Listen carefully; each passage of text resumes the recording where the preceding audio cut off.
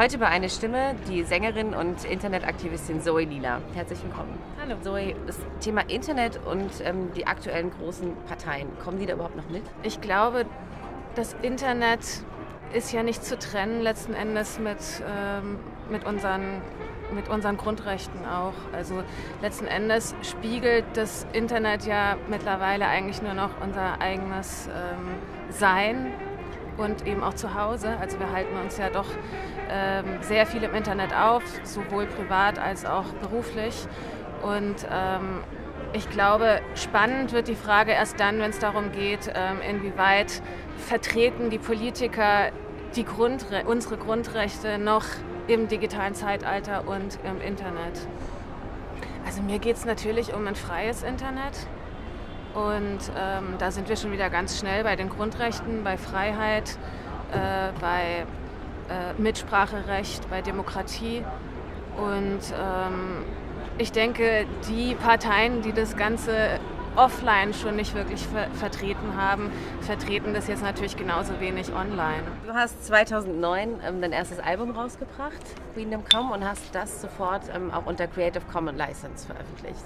Das heißt ja, dass die Leute das frei runterladen können und auch nicht kommerziell weiterverteilen und benutzen können. Ähm, was hat, dich, also was hat das für dich quasi mit ähm, deinem Ideal von Internet und davon, wie man dieses Potenzial nutzt, zu tun und warum hast du diese Entscheidung getroffen?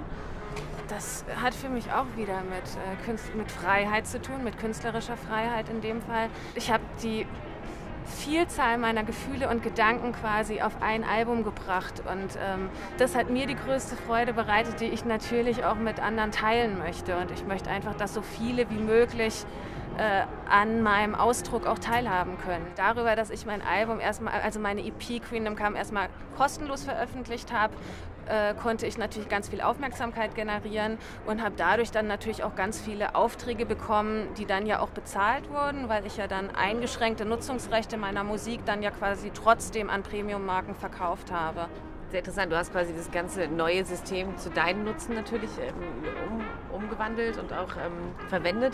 Was damit ja total konträr geht, ist die GEMA und die jetzige Rechtsprechung, was das Umwandeln in Geld von äh, Nutzungsrechten angeht. Mir sind einfach viele Sachen bei der GEMA aufgefallen, die ich so einfach erstmal sehr unverständlich fand. Zum Beispiel? Also was, was ist das konkret? Ach, schon diese ganze, dieses ganze Mitspracherechtssystem, dass nur 5% tatsächlich ein Mitspracherecht haben, dann diese Intransparenz, dann der Umgang mit der Digitalisierung. Also so diese ganzen Sachen, die fand ich einfach total strange und völlig unangemessen und eben nicht mehr, ähm, nicht mehr Zeit, Zeit, äh, zeitgemäß. Also wie funktioniert das? Würdest du jetzt deine Musik äh, einfach in die GEMA geben, um das zu verwerten, anstatt das selber zu machen? Wie würde das ablaufen? Ähm, ich würde sie ja gar nicht zu der GEMA geben. Das war ja der Punkt, dass ich gesagt habe, nee, hallo, äh, geht gar nicht. Habe mich dann aber recht schnell wieder darauf besonnen, was eigentlich mein Ziel ist, und zwar Musik zu teilen und Künstler zu sein, einen Ausdruck zu haben, mit anderen zu kommunizieren und habe dann im Zuge dessen dann auch Freunde gefunden in der C3S.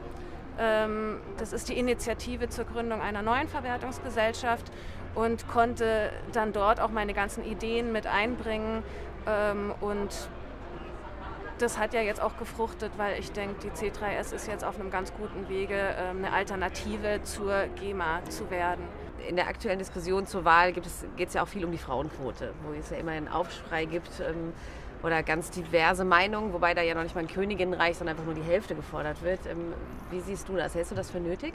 irgendwas in mir schreit natürlich auch auf, boah, geil, Quote und einfach Hammer drauf, so zack.